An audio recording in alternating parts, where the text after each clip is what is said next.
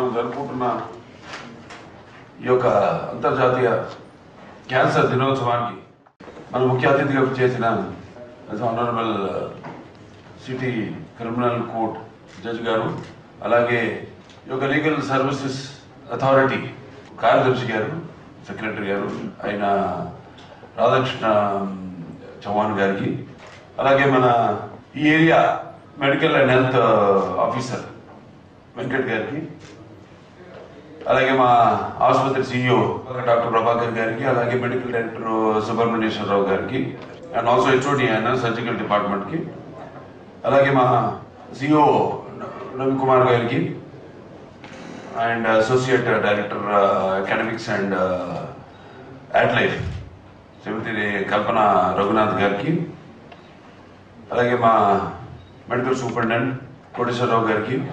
ఇటువంటి కార్యక్రమం చాలా పెద్ద ఎత్తున చేసుకోవడం మనకి ఆనవాయితీ.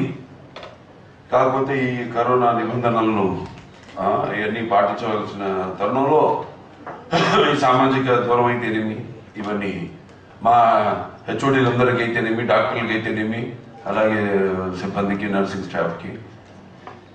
ప్రతి ఒక్కరికి అలాగే ఇక్కడికి విచ్చేసిన ముఖ్యంగా ఆశా వర్కర్స్ అందరికీ అలాగే పిఎస్సి సిబ్బంది పాత్రికేయులకు అందరికీ నా హృదయపూర్వక నమస్కారాలు తెలియజేసుకుంటున్నాను. ప్రపంచవ్యాప్తంగా ఇక్కడ క్యాన్సర్ వ్యాధితో పోరాడుతున్న ఎంతో మంది వ్యాధిగ్రస్తులకు వ్యాధిగ్రస్తులకు మరియు వారి రక్ష రక్ష వారిని రక్షించడంలో అహింసను కృషి చేస్తున్న వైద్యులకు ప్రపంచ క్యాన్సర్ దినోత్సవం సందర్భంగా అందరికీ మరొకసారి అభినందనలు తెలియజేసుకుంటూ మరి ప్రతి సంవత్సరం సుబ్రహ్మణ్య వారు చెప్పారు మా మెడికల్ డైరెక్టర్ గారు వివరంగా అంటే ఈ ఫిబ్రవరి నాలుగవ తేదీని union of for international cancer control UICC వారు క్యాన్సర్ వ్యాధి గురించి అవగాహనను పెంపొందిస్తూ వివిధ సంస్థలను ఒక తాటిపై తేవడం కోసం ఈ క్యాన్సర్ అవగాహన దినోత్సవాన్ని జరుపుకోవడం జరుగుతుంది.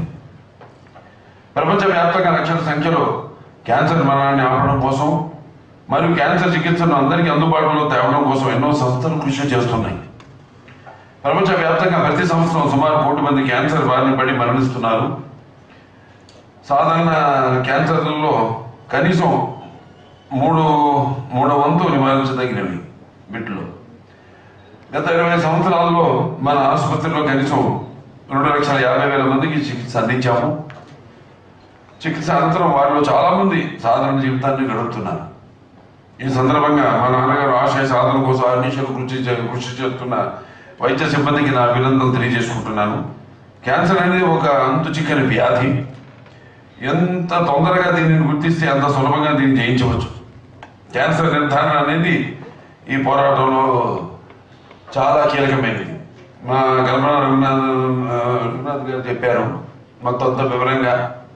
అంటే వీటికి కారణాలు ఏంటి క్యాన్సర్ రావడానికి కారణాలు ఏమిటి లేకపోతే రాగి వచ్చి రాగానే ఒకవేళ అది అవగాహన ఒక అవగాహన తీసుకొచ్చి అంటే దాన్ని తెలుసుకోవడం వచ్చిందని ఎలా ఎలా తెలుసుకోవచ్చు అన్నది వాటిలన్నింటినీ సూచనలు మనం ఎలా అయితే వాళ్ళ ఈ కరోనా మహమ్మారి ఎలా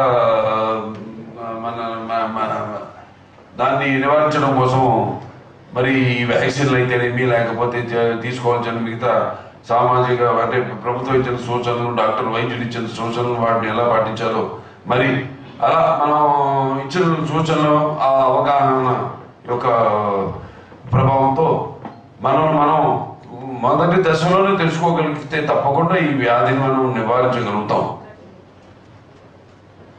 ఈ దిశగా ఆలోచిస్తూ మన ఆసుపత్రి ఆధ్వర్యంలో ఎంతో మంది దాతల సహకారంతో కొన్ని వేల క్యాన్సర్ నిర్ధారణ క్యాంపులు క్యాంపులు నిర్వహించడం జరిగింది. దీని ద్వారా కొన్ని వేల మందికి క్యాన్సర్ నిర్ధారణ చేయడం జరిగింది. అందుకే నిపుణులైన వైద్యులు సూచిస్తున్నారు ఒక వయసు తర్వాత ప్రతి ఒక్కరూ విధిగా కనీసం సంవత్సరానికి ఒకసారైనా టోటల్ బాడీ చెకప్ చేసుకోవడం మంచిది. యాభై సంవత్సరాలు నిండిన ప్రతి స్త్రీ సంవత్సరానికి ఒకసారైనా బ్రెస్ట్ స్క్రీనింగ్ చేసుకోవడం మరియు వారు సొంతంగా కూడా బ్రెస్ట్ ఎగ్జామినేషన్ చేసుకోవడం ఏదేని మార్పు ఉన్నట్లయితే గమనించడం చాలా అవసరం. తొలి దశలో గుర్తించడం ద్వారా చికిత్స సులభ సులభతరం అవుతుంది స్త్రీలకు సర్వైక్ స్త్రీలకు సర్వైకల్ క్యాన్సర్ నివారణ కొరకు వ్యాక్సిన్ అందుబాటులో ఉంది. పురుషుల్లో ప్రోస్టేట్ ఎగ్జామినేషన్ చేయించుకోవడం చాలా అవసరం. ఇలా ఎవరికి వారు తమ ఆరోగ్యం గురించి శ్రద్ధ వహించడం మరియు తోటి వారికి అవగాహన కల్పించడం ఈ రోజు యొక్క ఉద్దేశం.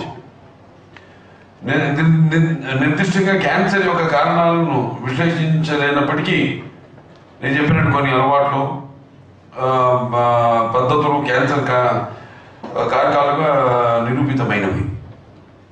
అంటే పొగ పొగ త్రాగడం మంచం సేవించడం గుట్కాలను నవలడం వంటి అలవాట్లు తప్ప- తప్పకుండా క్యాన్సర్ కారకాలు.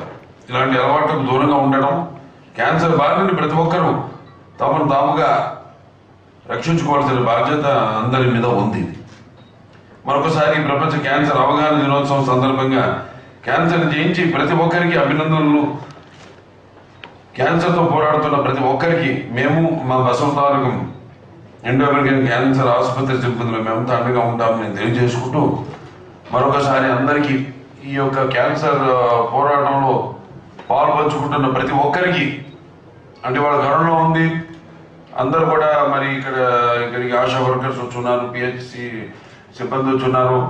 లేకపోతే లేకపోతే నేను చూస్తున్నాను ఫ్రంట్ లైన్ వారియర్స్ అటువాడు పోలీస్ శాఖ కానివ్వండి లేకపోతే ఈ మున్సిపాలిటీ లేకపోతే కార్పొరేషన్ పారిశుద్ధ్య కార్మికులు కానివ్వండి వాళ్ళంతా కూడా వాళ్ళ ప్రాణాన్ని అణంగా పెట్టి ఇవాళ మరి వాళ్ళంతా సమాజం బాగుండాలి మరి పరిసరాలు బాగుండాలి శుభ్రంగా బాగుండాలని లేకపోతే న్యాయ వ్యవస్థ బాగుండాలని ధర్మం న్యాయం అంతా కూడా మనం అనుకున్నట్టుగా ఏదైతే